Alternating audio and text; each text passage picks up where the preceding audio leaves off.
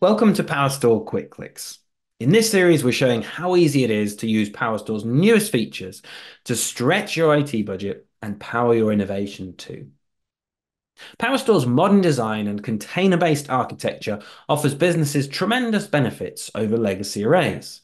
Power performance hungry next gen apps like AI with end to end NVMe.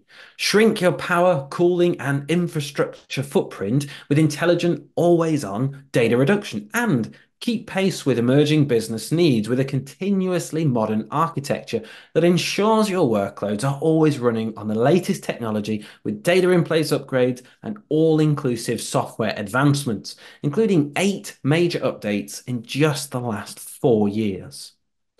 With PowerStore Prime, transitioning from outdated systems to cutting edge technology has never been simpler or more cost effective.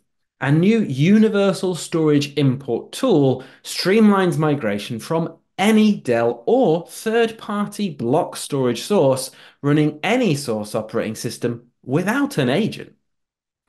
In just a few steps, you can future proof your business with PowerStore's highly adaptable scale up and scale out architecture.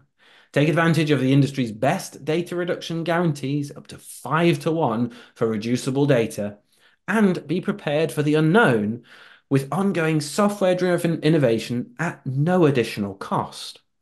Let's take a look at how easy it is to get your data onto PowerStore.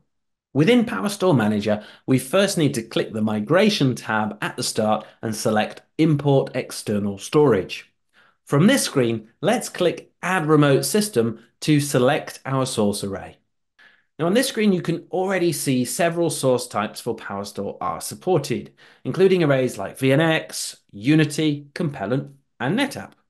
For file sources like Unity and NetApp, we also support the ability to import NAS servers to take advantage of PowerStore's easy to use file services. But if you have an array that isn't listed, 4.0's new feature allows you to select a universal type to bring over any Fibre Channel or iSCSI connected array. Just add the IP address or the worldwide name. Once that's completed and discovered, we'll see it listed as a new remote system based on the name and description that we've entered. Now we can initiate the import. So let's select the array we've discovered and hit import volume. This new feature supports an agentless import for simplicity, but non-disruptive import options are available with installed plugins. From here, the wizard guides us to the end of the import process with some simple inputs to organize the data on the new PowerStore array, schedule the import during a specified time period and cutover, and even apply a protection policy to the volume so it's ready to go. And that's it. You can import from any number of source arrays, which can be a great way to consolidate your infrastructure and simplify storage management with a single, easy to use platform. With a smooth path to embracing innovation, it's easier than ever to leave behind outdated technologies and complicated management.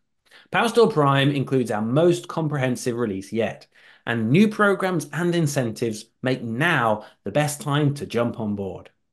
To learn more about PowerStore's latest release, check out other quick click videos on the PowerStore page on Dell.com, or reach out to a local partner or your Dell sales representative for more information.